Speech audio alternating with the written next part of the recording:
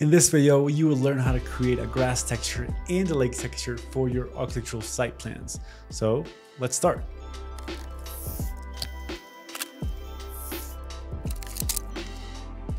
So this is an extract lesson from one of our courses, How to Create a Site Plan, which we have in English and in Spanish. It is a short course that deconstructs the essential components of a site plan, shows you how to create a detailed base plan, and teaches you how to ambient your site plan with the correct elements. It comes included with site plan brushes, satellite imagery, CAD blocks for your plants, vegetation, and so much more. So just in case, if you are interested, click the link in the description to sign up and learn a new skill. Now let's start with the grass texture. There are many ways of adding grass texture to your site plan. This is probably one of the easiest and less time consuming ways. There are other workflows which includes rendering or creating a high resolution texture. But for this specific case, we will do it with a special method and that is with a pattern. So let's take a look inside at how it is done. Okay, so I want to show you the site plan Photoshop file. It has a ton of layers from the line layer, trees, roof, etc. Now, what I'm going to do is I'm going to turn off all the layers except the line layers. So I'm going to turn off all of these layers right here. This is my only my grass texture, which looks pretty nice. What we're gonna do is we're gonna try to replicate this kind of grass texture. But for now, I'm gonna turn it off as well. I'm gonna leave only my lines texture, which is this one right here. So this is a folder with three PDFs of different elements of the site plan. This is literally exported right from AutoCAD. So this is the PDF with the trees only this is the PDF with the site plan and this is the PDF with the curves or the topography layer. I'm going to try to fill in this grass texture with a specific gradient so we can understand how the topography works in this site. To do that, first we need the grass texture and we're going to go to Google and you can search for grass texture in Google or you can go to specific sites that have grass textures, maybe for free or maybe paid textures. I personally always use uh, textures.com or I use my personal textures. In textures.com, you just type in grass and you can find different types of textures like this one right here, like this one, like that one, etc. etc. I already downloaded one, but you can download one here for free if that is what you are looking for. Now, this is my folder of different textures that I used in this site plan. And here is the grass texture that I used. Now I'm going to drag this texture into a new space right here inside of Photoshop. And I'm going to go to edit. I'm going to go to define pattern and I'm going to name this grass texture. So maybe the name will be grass texture for site plans.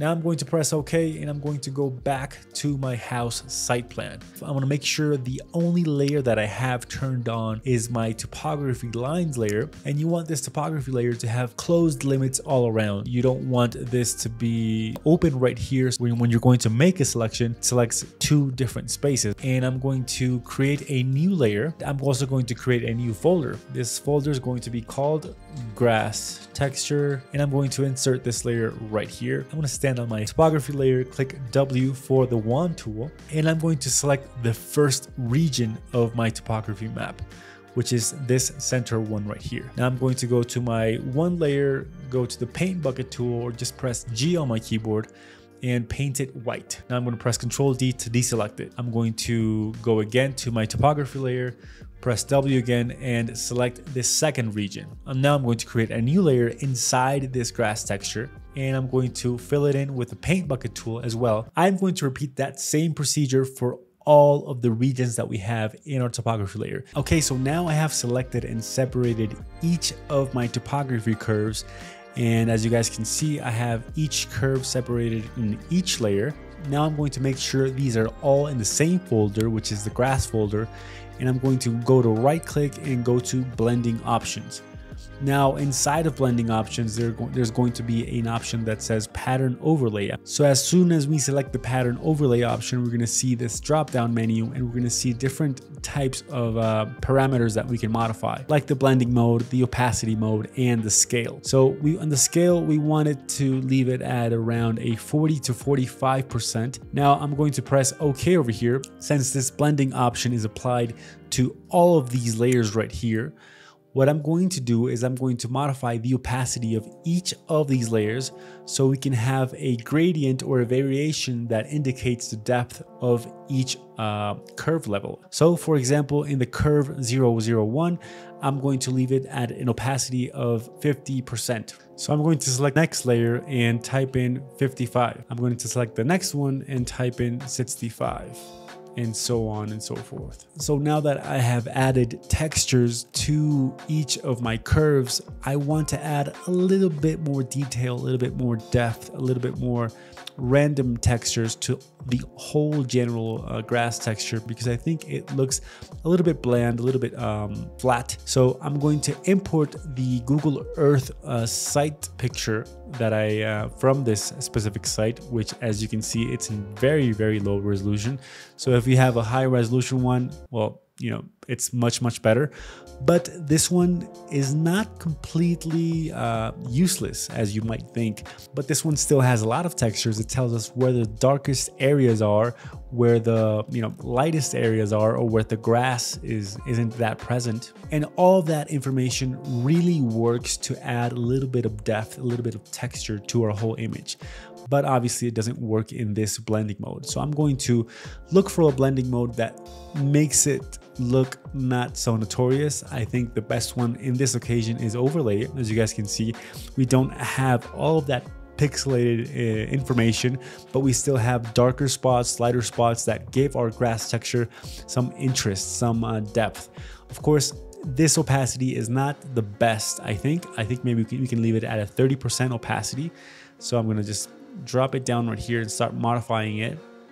And here, as you guys can see, we see the grass texture, but we also see the different kinds of colors and textures and uh, contrast that a satellite image gives you. So this is probably the key to have an interesting site plan. And that is how you add a basic, very simple, but interesting grass texture to your site plan. Okay, so now let's see how to add water texture. What I like about this technique is that it shows a manual way of doing it whilst also achieving very realistic results. In this case, we're going to use only brushes, so let's look inside on how to do it. So to add our lake texture, which is this region on the top right here, we are going to use a method that is only using Photoshop brushes. So it's kind of like painting. We're going to use oil brushes and watercolor brushes. The majority of these brushes you can find in your default Photoshop brush set, but if not, you can also look for different kinds of brushes that are similar to these, you know, online for free. But this brush set also comes with our site plan course, just in case you're interested. The first thing that I'm going to do is I'm going to create a new layer on top and I'm going to name it water. For each site plan, I always have a color palette that I want for that site plan. And in this case, it is this color palette. It's a very, um, you know, pastel kind of earthy color palette.